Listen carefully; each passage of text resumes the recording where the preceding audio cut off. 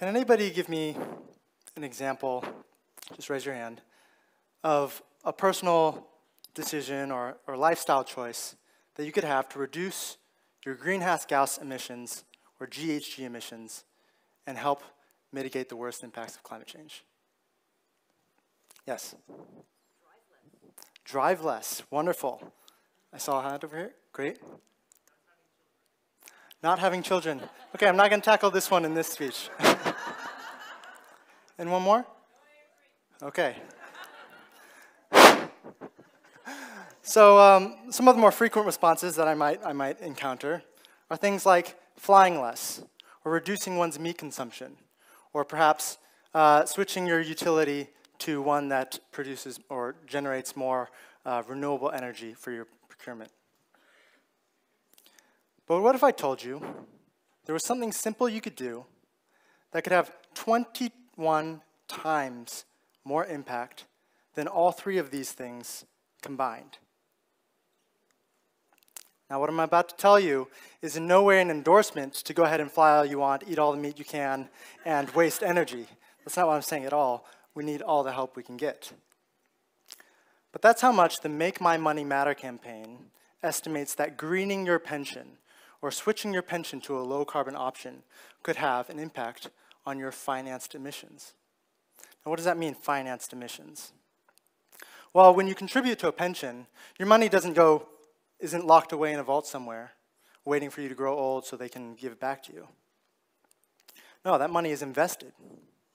And it's invested in companies and assets. And the operations of those companies and those assets go ahead and generally use energy and emit carbon dioxide and other greenhouse gases into our atmosphere. So those are the financed emissions of those pension plans. And by extension, those are also your financed emissions.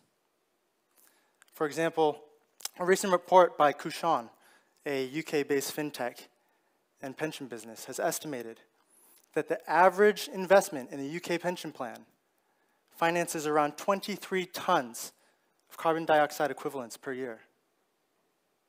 That's like saying that every person who contributes to that pension plan goes ahead and burns 940 propane gas tanks or burns 1,100 coal fires per year. It's a lot of, a lot of finance emissions.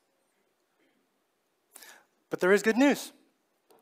A lot of asset owners and asset managers, pension plans included, are trying to reduce their financed emissions.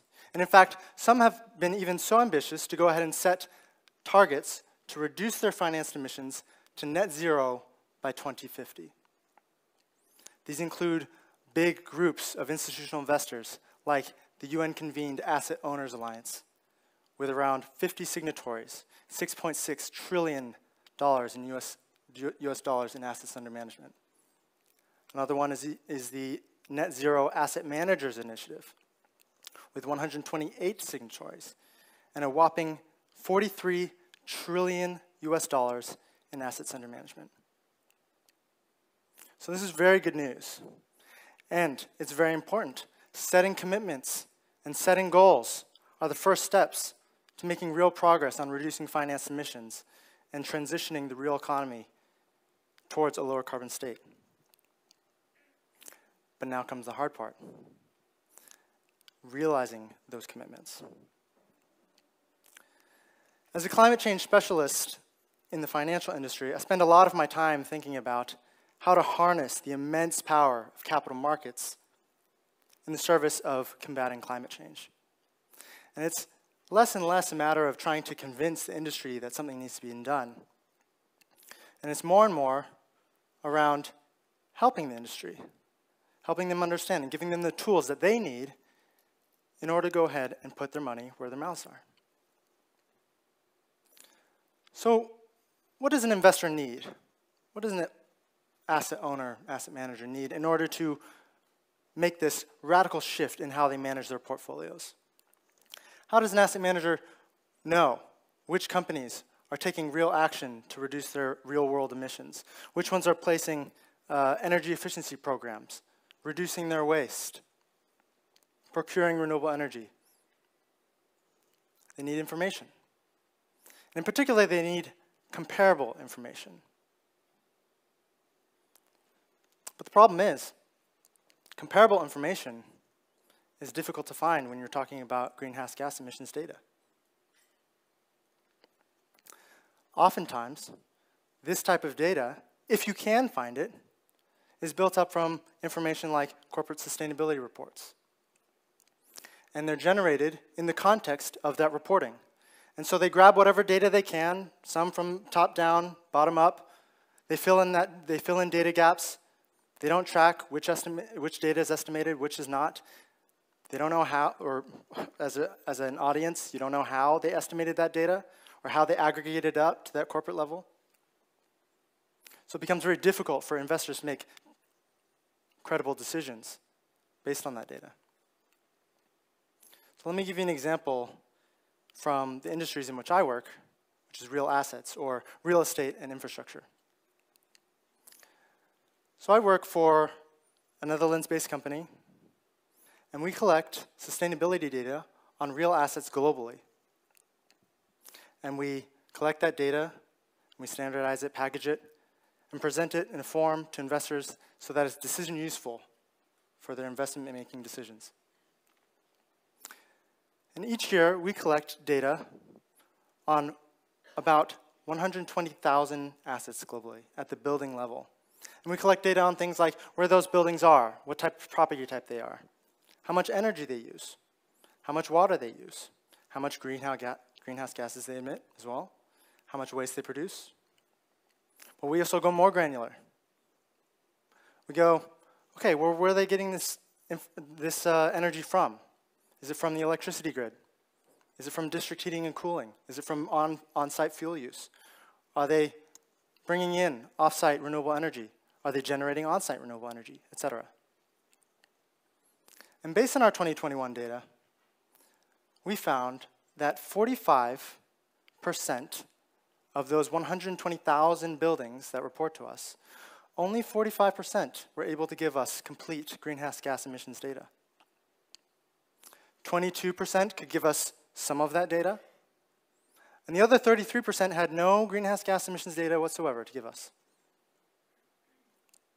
So you can understand, as an investor, trying to make decisions based off of radically incomplete data, especially when you're trying to identify those assets that you should be engaging with and trying to talk to those building managers about retrofitting energy, energy efficiency programs and the like.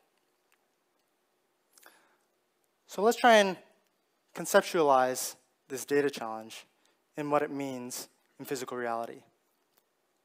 If we were going to go ahead and assume that the buildings for which we don't have greenhouse gas, greenhouse gas data are, operate somewhat similarly to those for which we do have data, then we're missing around 100 million tons of carbon dioxide equivalents per year. So let's take that a step further. If we go ahead and assume that the data challenges that we experience in commercial real estate over a 5.7 trillion uh, US dollar portfolio are somewhat similar to the data challenges that are experienced by, let's say, the $43 trillion under the control of the Asset Managers Initiative. Then they might be missing somewhere on the order of 1 billion tons of carbon dioxide equivalents per year. To put that in context, those missing emissions, if you were to say that those were the emissions of a single country, then the World Resources Institute would place that as the eighth most highly emitting country in the world. So what do we do about this? Well, I think we need less data. And in particular, I think we need less self-reported greenhouse gas emissions data. We don't need these fund managers to waste their time and energy paying generally consultants to go ahead and try and configure the greenhouse gas emissions information that's generally used for corporate reporting and try and like fit a square peg into a round hole and make it useful for investment decision making.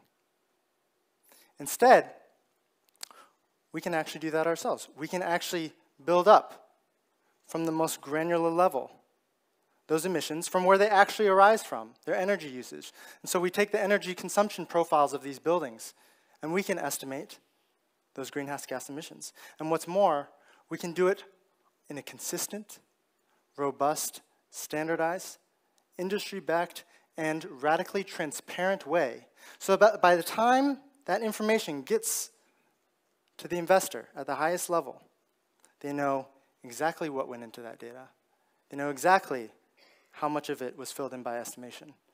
And they're more confident to take decisions based on that data.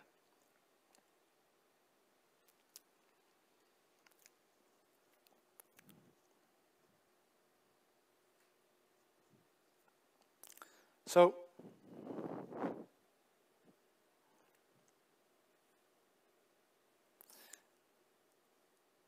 you've probably realized that the answer isn't necessarily less data in and of itself.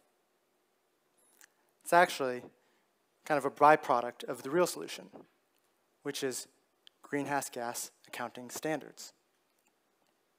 So in the same way that financial accounting standards are globally recognized, and so you can look at a balance sheet or a cash flow statement or an income statement and know exactly how each of those numbers were calculated and aggregated up. The same thing can and needs to be done for greenhouse gas emissions data. Okay? So, you know, what will these greenhouse gas accounting standards do? Well, they do a number of things. First, they provide a carrot for the industry, an incentive. And the carrot says, you investor now have confidence in this data. You know exactly how it was built up. You know exactly what's in this carrot. So you can make more confident decisions to go ahead and allocate your resources to those buildings and those companies that are becoming more sustainable. So it's better decision making. Second thing it provides for the industry is a stick. And the stick says, you investor no longer have an excuse not to take action. You can't hide behind the excuse of, oh, I don't have the greenhouse gas emissions data. Or I have it, but I, you know, I don't know how it was estimated, so I'm not that confident in it. I can't make decisions. No longer will that be allowed to fly. And the combination of this carrot and stick will move the industry away from kind of the realm of voluntary corporate sustainability reporting, which is susceptible to things like greenwashing. And it will move it more towards a reflection of something that reflects actual real world performance and how companies and assets are actually impacting our environment, backed with all the robustness of something like financial accounting standards. So those investors that fail to move along in this direction from left to right will soon find that they'll be left behind. In evolutionary biology, they call this the Red Queen hypothesis. And the Red Queen hypothesis simply says something like, it doesn't matter how long a species has been around. That species has a roughly equivalent probability of becoming extinct at any given time if it stops adapting and continuously evolving in step with all of the other species that are co-evolving around it.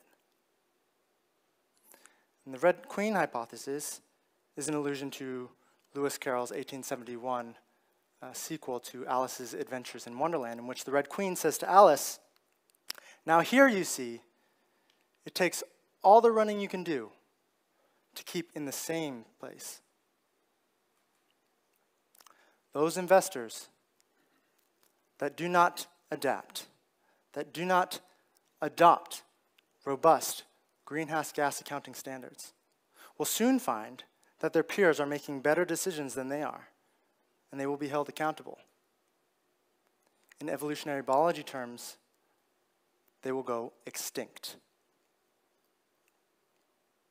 And as they do, things like net zero pensions will not only become more widely available and accessible, but they'll also become more impactful. Now, a lot of us don't have a choice on which pension plans we are able to contribute to. This is often a choice that lies with our employers. But there are ways that you can raise this issue in the workplace. And there are places like shareaction.org that go ahead and have resources to help you do this. But something like greening your pension,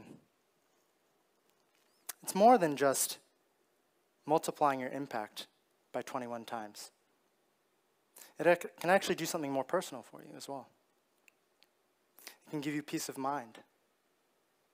Because no longer will you be relying on everyday lifestyle decisions to prove and reprove your commitment to something like the fight against climate change. You've already done the heavy lifting. So the next time you're confronted with the vegetarian option, I know we've all been there, and the meat option, vegetarian option, doesn't look so good. It's kind of a sacrifice.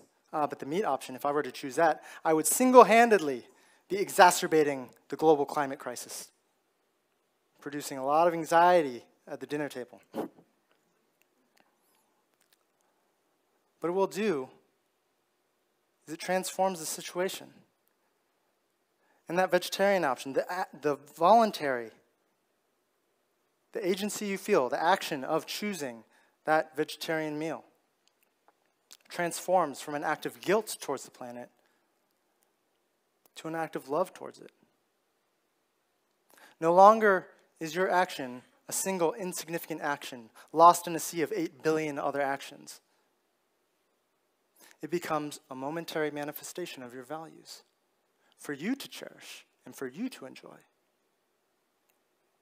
It goes ahead and reduces that cognitive dissonance that some of us feel between our actual selves and our idealized, super sustainable, Instagrammable versions of ourselves.